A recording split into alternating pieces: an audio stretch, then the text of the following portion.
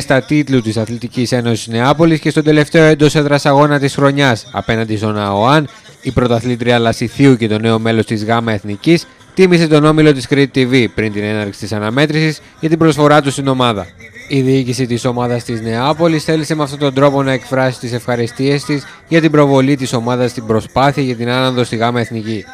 Τον όμιλο της Κρήτη TV εκπροσώπησε ο δημοσιογράφος Γιώργος Μιμίκος, ο οποίος παρέλαβε τη μυτική πλακέτα από τον πρόεδρο της ομάδας Κώστα Καστελιανάκη.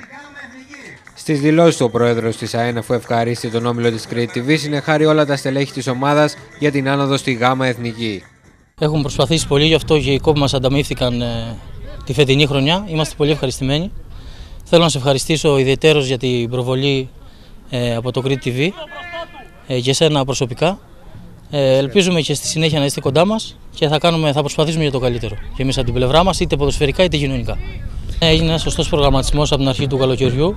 Το είχαμε στο μυαλό μας, το πιστεύαμε εξ αρχής και η μεγάλη διαφορά που έχει αποδειχθεί στο τέλος του πρωταθλήματος ε, φαίνεται ότι είμαστε άξια πρωταθλητές και δίκαια πρωταθλητές. Από την πλευρά του, ο προπονητής της ομάδας Αντώνης Γιανακάκη αναφέρθηκε στα στοιχεία εκείνα τα οποία έφεραν την επιτυχία στην ομάδα της ΑΕΝ. Προσπάθησαν πολύ διοίκηση τα τελευταία χρόνια η ομάδα να κατακτήσει τον τίτλο. Ε, φέτος τα καταφέραμε, γίνανε σωστές κινήσεις από την αρχή της χρονιάς, με παίκτες στοχευμένους και με, καλή, με οικογενειακό κλίμα βασικά και καλή διάθεση από όλους, τα καταφέραμε στο τέλος.